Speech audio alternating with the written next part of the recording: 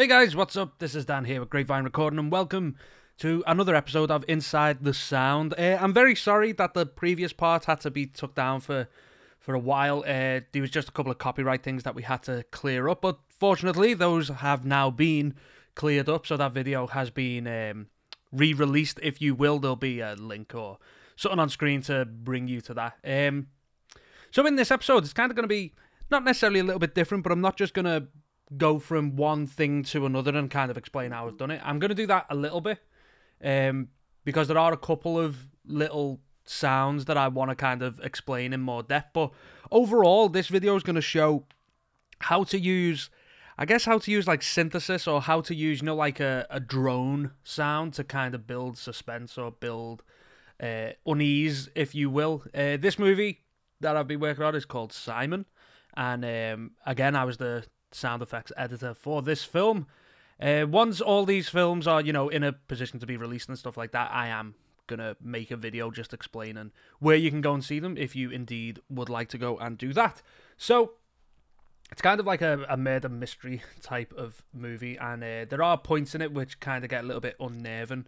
Um, and our overall direction for this movie, at least, was to, you know, really underpin the unease with kind of non you know diegetic sounds you know things that don't necessarily appear on screen but just get used as a layer to underpin like the emotion. I guess that's kind of what we were aiming for. So um there's this part where this woman here is a reporter and she's uh kind of trying to find find out more clues on what's going on. And she goes to speak to this doctor and basically what happens is she finds these uh these knives underneath here. So during the scene, uh, please be aware as well that this is just the effects mix. You know, there's no like foley or anything in this, so like more will be added in towards the end. I just wanted to isolate some of these sounds. So the way we've the way I've I've approached this is as like to try and use some drones and some reverse drones and stuff like that to to bring this little this section to life, I guess. So uh, I'll just play it so you can have a listen.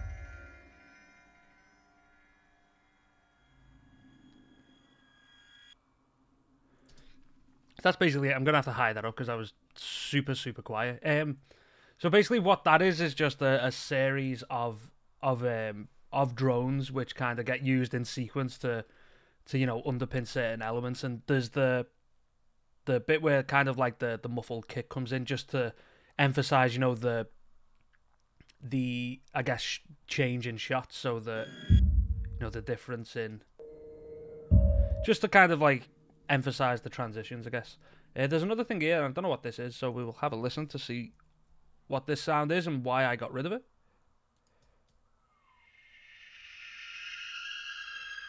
Ah, right. Yeah. So as I was mentioning, at certain points throughout the movie, we kind of use these drones to as indicators of certain things that are going on. So a specific sound will kind of be, you know, a an audio clue maybe to the listener that certain things are going on, and sometimes the uh, we don't actually use them correctly on purpose. So if you think of uh, the Jason Voorhees like breathing type thing, is it was always used as a identifier that this type, you know, that he's near or or things like that. So we kind of play with the conventions of that a little bit. Um, so first of all, I'll break down the different the different drones that we use. Um, there are two primary ways that I do this.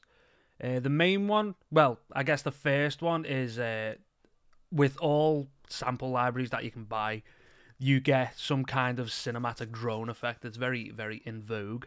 And uh, so this is the first one that we used. I kind of, uh, the drone was there and I just reversed it round. Uh, EQ'd it a touch to, you know, kind of make it fit what I wanted. As you can see, it's extremely lowered down, so I will hide it up in in like post editing so you can you know hear it easier. So just that on its own is well. What I'll do, I'll reverse it and you can see what it was like. Um, uh, where is it? What's it on that? You can see what it was like when we first got it. It was like this.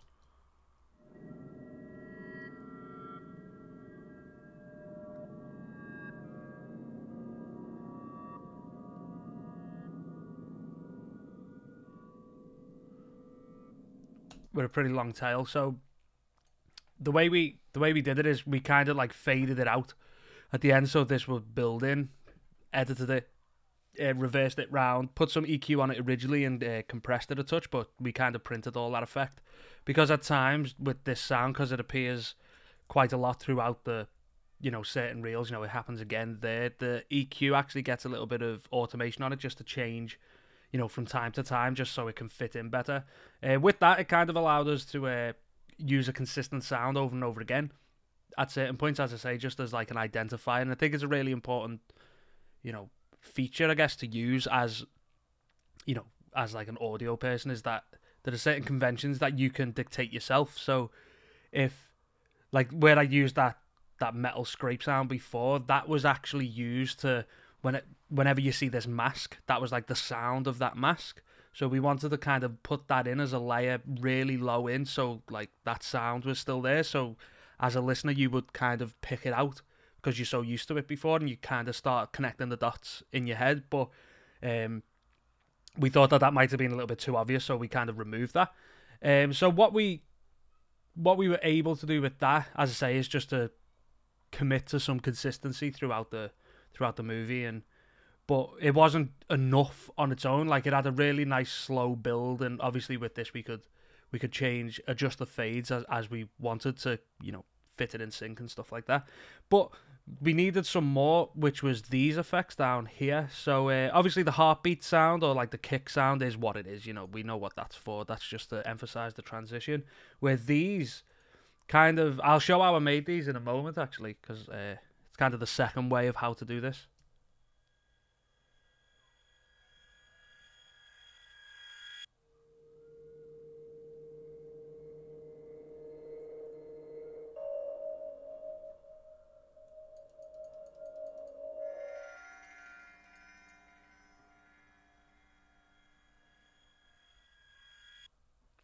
So with these, these are actually uh, synth sounds that have been bounced out uh, the synth in question for this was Absynth 5. Uh, I do believe that this is now all set up to use. If I push the key, it'll work.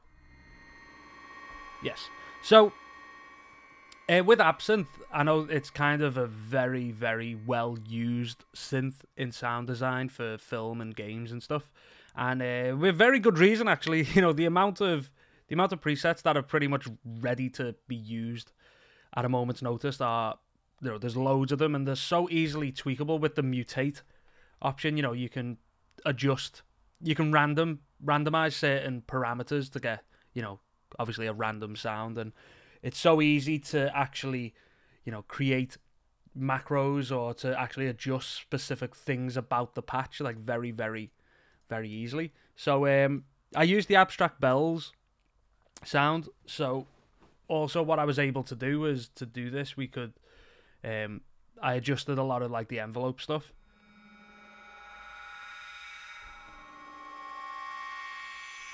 Because of course I, we needed that slow build and um, just the type of just the type of sound overall was kind of perfect for what we needed. And what's great about this is when when I use it across the keyboard is yeah it does pitch, but so many of the different sounds, um, you know, even just from one key to the next, they're just so massively different from each other.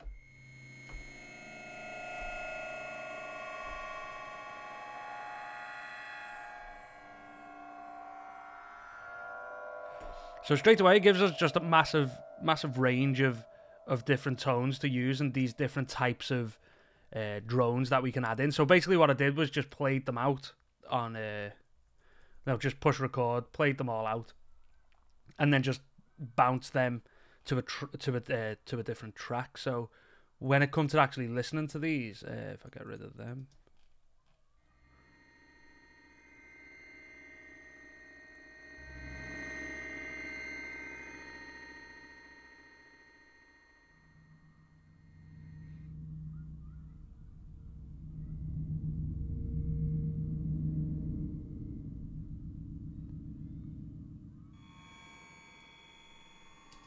You know you can you can play it in and you can kind of perform the type of drone that you want and uh, like I think it, it did work out pretty well. So I think like just using a mix of you know any kind of sounds that you can find you know even in the real world you know there are so many types of noises that make you know there's so many real world things that make this kind of kind of sound uh, my car door for example if you close it slowly makes like a really you know painful painful uh, scrape uh, you know which you can be used as as a drone if you're affected in the right way um so with all these these have some kind of reverb or some kind of you know modulation effect to kind of just make it a little bit more more interesting, I guess. And the whole point of this, and I think is one thing that I'd, I'd emphasize with this, is that you know subtlety is key for this. Um, because a lot of this was, I guess, trying to be a little bit subconscious and a little bit clever with the listener. We didn't want to just overly go, um, you know, we didn't want to we didn't want to play it too obvious because, of course, if we did, the uh, you know the effect is lost, and the whole point of this is just to underpin the story. And uh, I guess that's kind of our role is just to emphasize the you know the work that's gone on before us with in you know the with the writing and the acting and and stuff like that. We're not trying to steal the show. We're trying to just embellish what was what was already there. So I think with this, I think it's an extremely useful useful tool, especially if you know that's the kind of thing that you're going for in this movie. That's that's also very important. You can't just put this everywhere. You know, subsequent films since here we haven't done this technique because it just didn't fit. Um, but yeah, that's kind of just wanted to, what I wanted to say. You know, just the use of these drones can really can really set an emotion. And again, if you use them subtly enough, and you know, if you explore the different timbres that you can get, you know, out of synthesizers and out of out of real life sounds, you can really you know, add layers to the sound. You know, it's not just it's not just things that you see. You can kind of dictate how a listener or how a viewer feels because of this. And uh, yeah, I think it's really useful. Um, as I say, sorry it took so long to get back into doing this. Um, as I say, we just had to kind of uh, sort a couple of things out first before we could, you know, move on uh, properly, which we now have. So expect more of this. Uh, now it's in a great position because I can start making videos on, you know, things that I'm doing currently. Like with this, I had to kind of go back a little bit in time to to work on something. So uh, the more stuff that we get, the more stuff I'm going to be able to record and, and show you different techniques and stuff like that. So uh, yeah, thanks all very much for watching. Uh, hopefully you enjoyed this, and I will see you all very soon. Bye bye.